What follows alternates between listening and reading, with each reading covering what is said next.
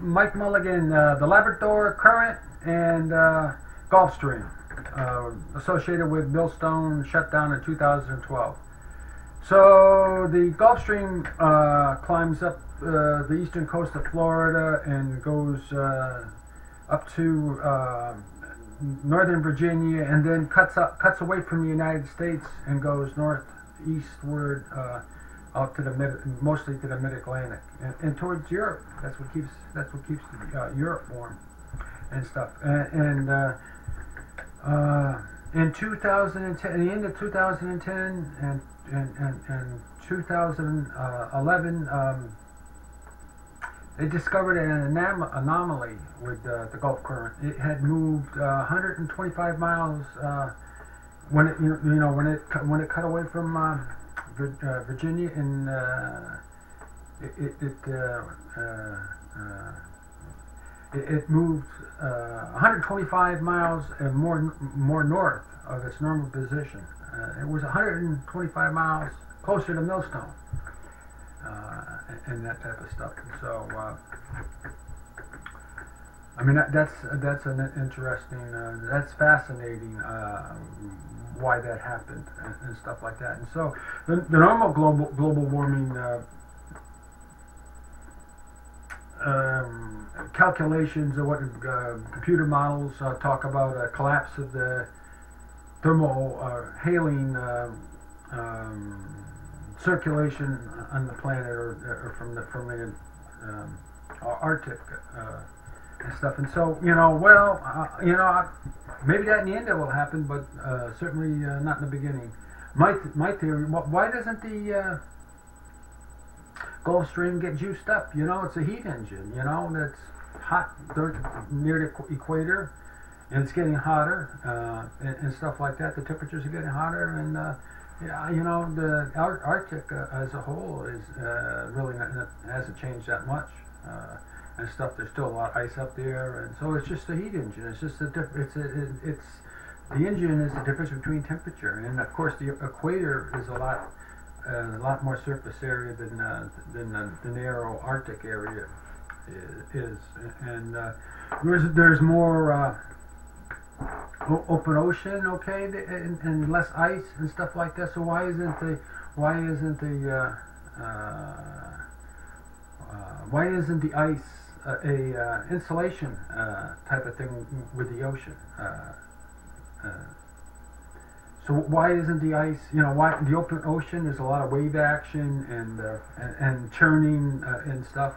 And so what? Why that that that that that's the stuff that creates a lot of you know that transfer of cold into the into the ocean and stuff. So that that temperature difference, the cold ocean um, settles down and comes back towards the equator, and uh, hotter water juice you know uh, ju- uh, juices up the flow of the uh, Gulf Stream and stuff like that. So why isn't the Gulf Stream in, in, uh, increasing?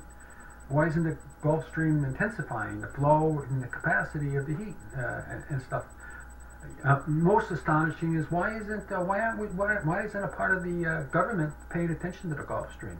Why, don't we uh, know on a, a website? Uh, we can watch this on a right now uh, or in the hysteric, historical data and stuff like that. The conditions of the of the uh, Gulf Stream. Uh, a lot of these environmental people, they all use the Gulf Stream for their own agenda and stuff like that, and, and, and there's really not a lot of interest uh, of watching what's going on in, in the Gulf Stream. Not, not a lot of money when it gets down to it. But why isn't the government uh, involved in it, uh, uh, watching this? Uh, why isn't the government involved with the Labrador Current and, and watching that?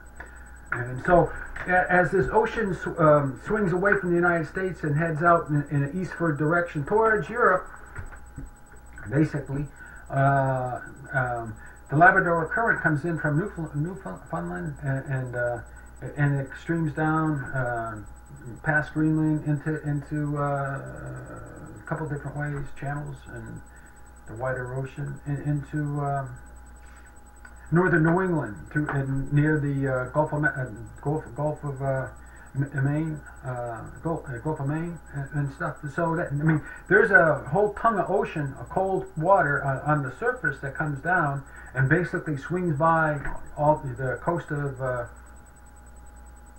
New England, uh, on the western, I mean, on the coast of New England, uh, you know, New Hampshire, uh, Boston, uh, swings by the Staten Island and stuff like that, and it goes all the way down to where that uh, Gulf Stream uh, starts swinging away from America.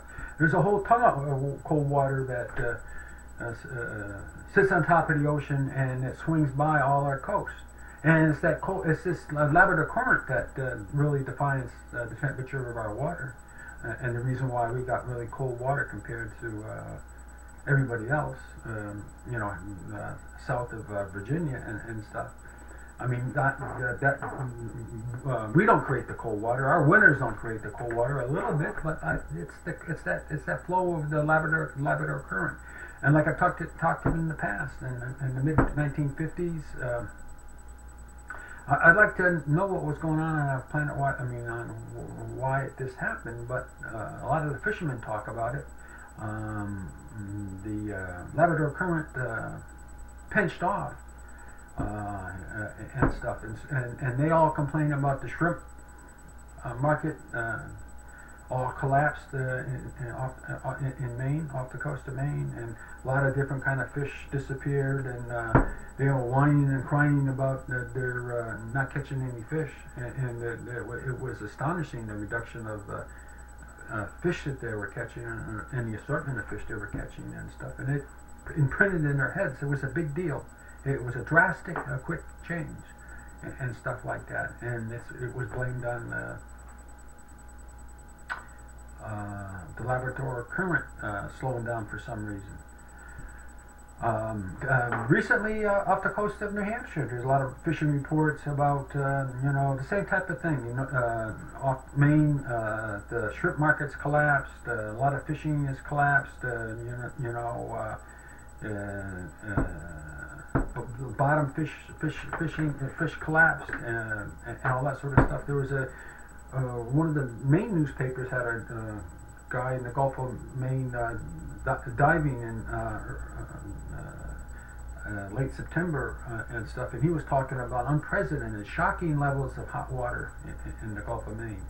And you know, from the surface all on down to like a, um, 100 feet, uh, 180 feet, and shocking change uh, hot water down there, uh, 20 degrees uh, higher than than normal for that time of year and stuff. I think they've used a little bit last year, but this this year, you know, it's a shocking change of the temperature of uh, uh, the Gulf of Maine and stuff. I don't know if it's uh, kept up and stuff. And so, you know, wh- what's going on here? What, what you know? Uh, um, so why can't the? Uh, you my theory is that um the Gulf, uh, the uh, uh, Gulf Stream is. Did you ever? I used to go through the Gulf Stream on a submarine. It was a, uh, it was uh, underwater, and it was amazing. You'd be sitting there, and it'd be really cold water, you know, uh, 40s and 50s, and bam, you'd be in 80 degree water pretty damn quick. Uh, You know, wi- wi- within a couple of minutes. It was kind of amazing to, to see. Uh, to see that big wall, uh, to go through that big, pierce that big wall of hot water in, on a submarine underwater and, and stuff, and uh, uh, and then uh, go back on the other side where it get cold real fast, or in, in, in go, you know, uh, coming out of ports, go, know, coming out of ports, going going way up north, uh, and hitting that hot water and stuff like that. It was an amazing, amazing sight. So, anyways, what's happening? So, why isn't the uh, well, maybe the uh, Gulf Stream is uh, getting juiced up? You know, the uh, it's crowding out the Labrador current. The Labrador current, for its own reasons, is, is weakening uh, or going in a different direction, and um, because of the uh, um, uh, um, air oscillations, uh, the, the big air system oscillations and stuff like that. Uh, um, the uh, Labrador recurrent is uh, is slowed down or stopped, and what and, and it's causing the Gulf Stream to uh, push up north and, and slide more towards the the continental shelf and, and stuff, and, and, go into you know, in our bays and stuff like that, and certainly within uh, Long Island Sound. Why, why isn't that? And you know, the, the uh, outcome of this is what if this, what if this is uh, uh, is triumphing, triumphing a, a, drastic change in New England? Yeah, imagine, imagine the outcome of say um, a lot of the water uh, off our coast uh, go up 10 degrees, uh, 20 degrees, maybe even 30 degrees in a, in a drastic change and stuff like that. What, what would be the economic outfalls of that be? It'd be drastic. Uh, would property values change? Uh, you know, uh, who, who, knows? Uh, would would uh, we, we, would it'd be a drastic drastic shift of fishing of of, of sports fishing of um, you know all the power plants. I can I can't I can't think of that. I mean, it'd be drastic. Think of uh, Long Island Sound. All of a sudden, we find out that uh, it was the Gulf Stream that was uh, coming in and out with the tides and, and warming up um, all of Long Island Sound, basically, and, and, and, that type of thing. And it really wasn't had nothing, very little to do with the weather.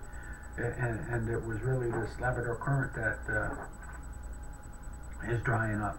Uh, I think that's the big motivator of all of our cool temperatures uh, in New England is the Labrador Current. And that Labrador Current, I told you, comes right down to the, it goes right down on the coast and it snakes right down to the uh, Gulf Stream, and that, that's where it stops, uh, or it gets diluted and stuff. And so, you know, uh, that's what, um, I mean, you know, uh, it, it, would be drastic changes uh, if, uh, you know, from Virginia to New Jersey, in uh, New York, uh, Long Island, uh, Connecticut, and uh, up through Massachusetts, and you know, throughout Maine and stuff like that. Uh, uh, what if it? What if we had a shift, a great shift of the Gulf Stream? I, I, I, think that's what we might be watching right now. Um, I, so we're having fishing issues uh, like we had in the 1950s uh, in the Gulf of Maine and uh, shrimping issues uh, like the Gulf of Maine. Uh, we're seeing in, in the last, um, within the last decade, a lot of uh, Gulf Stream fish coming up and being in waters in, inside inside Long Island Sound, being caught off, being caught on the southern side of Long Island Sound in New Jersey and stuff like that. We're seeing uh, uh, fish and animals that you know we would uh, we would see, would see in Georgia. Uh, what if our uh, ocean temperature uh, jumped up to you know Georgia temperature for most of the year? Um, that would have a drastic change on our climate in, in, in, in, the area. It would, you know, these atmospheric oscillations and high pressure systems and uh, Arctic high pressure uh, Arctic systems, and it would fiddle around with all that sort of stuff, and it would shift around the wind patterns, and it would shift around the um, jet stream and, and, stuff like that. It, you know, uh, it, it, uh, I believe this uh, shift in the Gulf Stream would drastically uh, change our weather patterns also. And then you look out towards Europe. Like, where's that Gulf Stream going? Is I hope it still uh, flows off the coast of uh, Europe uh, and stuff like that. So I, I, think that's what's happening. And I think that's uh, you know. And what's, what's that pretend for Millstone? Will will uh, will Millstone? Will we keep ramping up? Will the Gulf Stream, uh, Gulf, the Long Island Sound be heated up by the Gulf Stream more and more? And uh, really that's what's going on here, and everybody doesn't realize what, what's going on, and uh, we'll uh, jump up a couple of degrees uh, next year, and a couple more degrees next year, maybe five degrees, uh, and the year after, and stuff. And you think about our lives, how, how they'll they'll change in, in New England if that happens, and if um, this 1950s business was a precursor of what was going to happen as as as um, the effects of global warming uh, are touching us all. And so I, I, I, I think that's that's what's going on with what's causing uh, millstone. And like I said, uh, millstone is going to be uh, uh, shut down uh, more and more and longer and longer periods. Uh, probably two plants down at a time. Probably we're talking about the destruction of the millstone facility, it not being